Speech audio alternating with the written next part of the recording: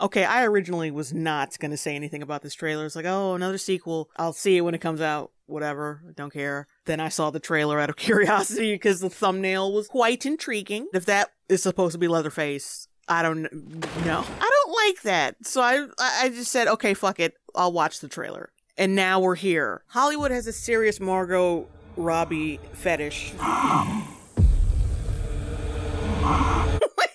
Now that like I don't think Leatherface ever had this trait where he would breathe really hard, but now that's a thing. He's doing that. I wish I could say that is most definitely not a ripoff of Michael Myers. He oh. copied my whole fucking flow, Oh, word for word, shit. bar for bar. But considering this is a horror film that ignores the rest of the sequels and it's a direct sequel to the first film, just like Halloween 2018, they probably are ripping off Michael Myers. I'm just saying. So Harlow is a ghost town. Why you going there, bitch? We have a vision for this place. All it needs is young blood. Wait, we have a vision for this fucking ghost town. My dude, brother, black man, black man. Like, what are you doing? I mean, the premise could be worse. It could be a group of young influencers coming to gentrify an old rickety ghost town in the middle of Texas. That is the actual premise, by the way. You excited? I mean, with everything happening, people jumping ship from a place with a butt fuck of high taxes to Texas. This premise actually makes a modicum of sense. But. Eh, and also, they look really young. Oh, we're just gonna take a whole town and gentrify it all for ourselves. We're influencers. Like, I don't understand how you can get away with this. But. All it needs is some new blood. Okay, how much money do you actually have to refurbish and rehab an entire town? Like, wait. It's. I don't want to live here. This is a chance for people to start fresh somewhere. we got one rational person. I don't want to live here. yeah, like, why are you taking me here? In fact, uh, where are my parents? You kidnapped me. we want to go to a place where there's no racism, away from the rednecks, without the high taxes of a liberal city. Hey guys, you should see this. Yeah, this family's last name changes so much that I, I don't know what their last name is. But this family, they had a house that was like miles and miles away from civilization. That's kind of the point. You can't be super cannibals and live right next to a small town where people will notice with a lot of foot traffic. Why would you? Huh? What? There's a fuck. Why are they living? Oh, I do not like this. Well, There's so many wrong decisions being made. We got influencers, Leatherface looking like a baby in the microwave. We got so many, so many problems. I don't know what's going on. We're for one why did you go in that house anyway? Oh, a house that's completely separate from this entire town. Like, fuck it, leave that alone. We'll just stick with all of the real estate we already found. Mrs. Hardesty. Sally, I'm afraid your old friend's back.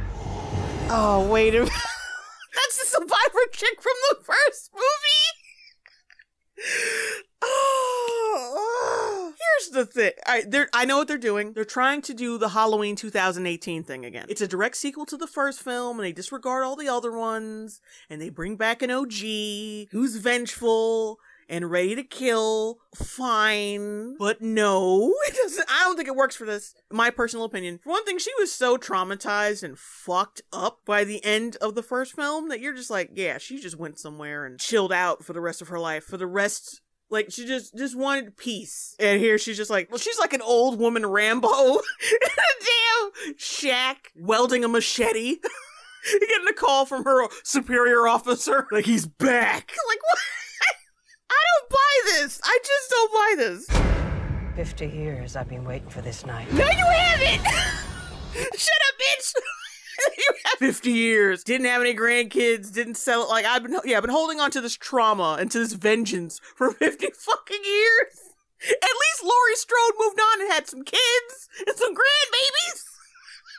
this bitch has been pussy drying up for 50 years. Like, hey, I'm gonna get Leatherface. I'm gonna get that motherfucker. If the first movie is anything to go by, which is what they want us to go by, he wasn't locked up. He wasn't killed. Why did you have to wait 50 years? it's not. Oh, it's like I said, it's not like Halloween 2018 where Michael Myers was locked up and then he escaped. Then Laurie has to go out and get his ass because he's threatening her town and her family, and she ain't having it. It makes sense.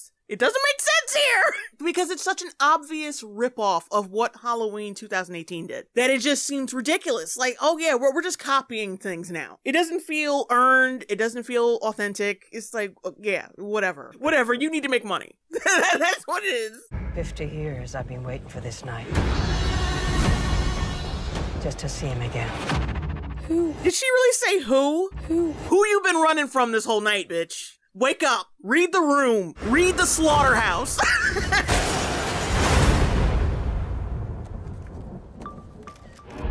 Try anything and you're canceled, bro. Oh!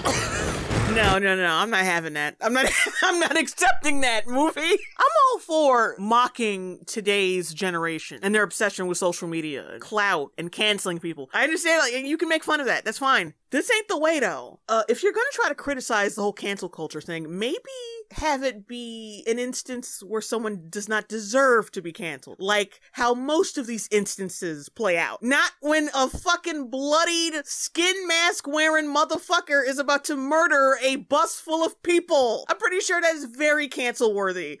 Like, horrendously cancel worthy. That's number one. Number two, no one is this stupid. When people normally camera, like when they use their camera phone to capture something happening, it's usually to someone else, not to themselves.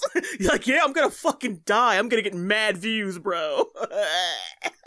no, you're not, because you're gonna be fucking dead. Oh, fuck. you idiots. What are you doing?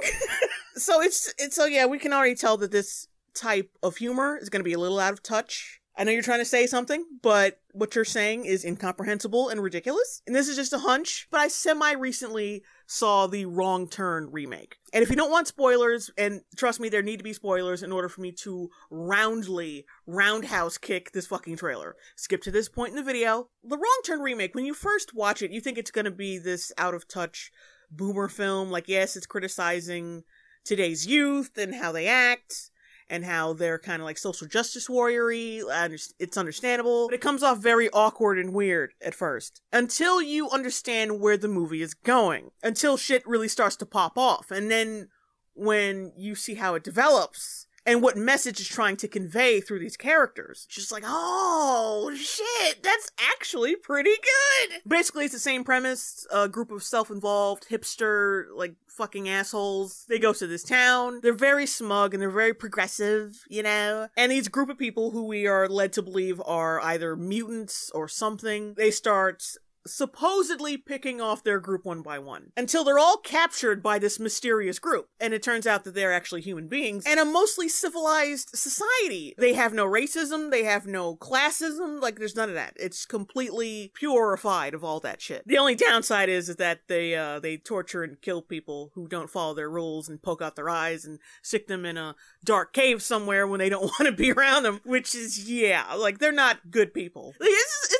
whole thing. It's a whole this is why I, I can't even spoil it that much. But anyway, I think this new Texas Chainsaw Massacre is kind of cribbing off of that. They're trying to do that same theme. From the looks of the trailer, they failed miserably. Try anything and you're canceled. I could be wrong, but like, come on. Was I wrong about Matrix 4?